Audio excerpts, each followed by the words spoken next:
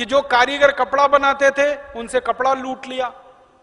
और उनके साथ समझौते किए कपड़ा बनाने वाले कारीगरों से कि वो जितना भी कपड़ा बनाएँगे, सारा ईस्ट इंडिया कंपनी को मुफ़्त में देना पड़ेगा। और जो कारीगर ये कपड़ा नहीं देता था मुफ़्त में, उसके अंगूठे काट लिए जाते थे।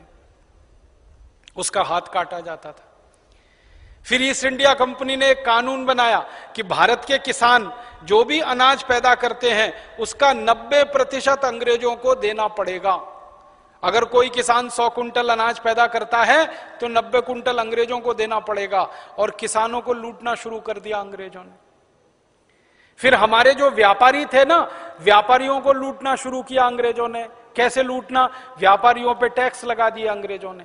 कोई भी व्यापारी माल बनाएगा, उत्पादन करेगा तो उस पर अंग्रेज़ों ने साढ़े तीन सौ प्रतिशत टैक्स लगा दिया।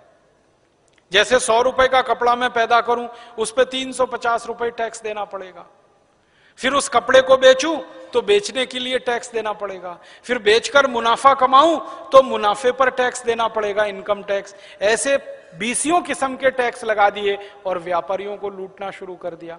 तो कारीगरों को लूटा, व्यापारियों को लूटा, किसानों को लूटा और लूटने आर्थिक रूप से और दूसरे काम बहुत किए अंग्रेज़ों ने।